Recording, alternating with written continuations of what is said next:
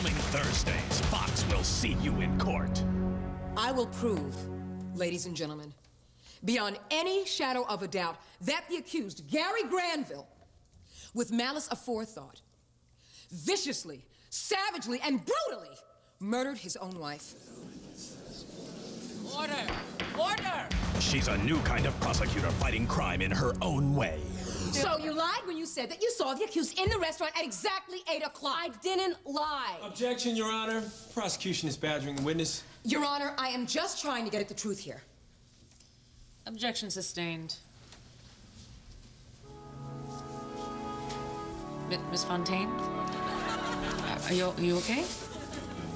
Miss Fontaine, I, I'm, I'm, I'm really sorry. Just you're, you're badgering the, I mean, just a very little bit. Um, you know what? I, I might have said 8 o'clock, which technically isn't true.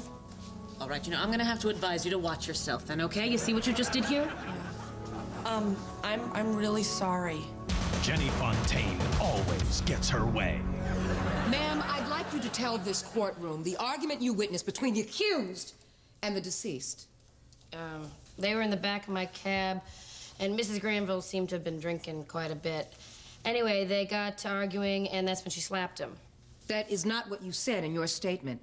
Mm, yeah, it is. No, it is not. You said that you witnessed the accused slap his wife. No, I didn't.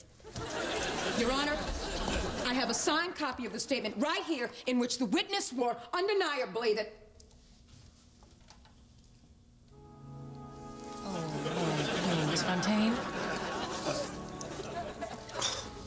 Miss, Miss Granville had been drinking, they argued, and, uh, well, she slapped him. Oh, that could just be a, a typo. I mean, that, that's, you know, that's an easy mistake. To, I mean, she, I mean, she slapped him, he slapped... I mean, if, if you're typing fast, you, you know... I move that this witness's testimony be stricken from the record. I agree. I don't know what I'm talking about. Admit it, Mr. Granville. You saw your chance, didn't you? So you snuck out of that restaurant, you went back to the apartment, and you murdered your wife, didn't you? Stop! It was me. I did it. We've been having an affair. She wanted to break it off. I couldn't stand the thought of losing her. So I went back to the apartment and killed her.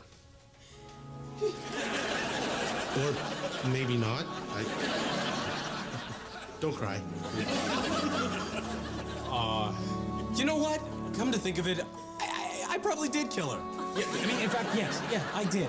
I did. I, I, I sleepwalked out of the restaurant in Cleveland to the airport and caught a plane back to New York. This could happen. Yeah, yeah. Then I killed her, sleepwalked back, and got back to the restaurant in time for dessert. See, it's all starting to make sense now. Y- yeah, she's absolutely right. I, I'm guilty as hell. Jenny Fontaine, emotional prosecutor. Thursdays at 9, right here on Fox. Uh, Wednesdays at 9. Tuesdays? Whenever.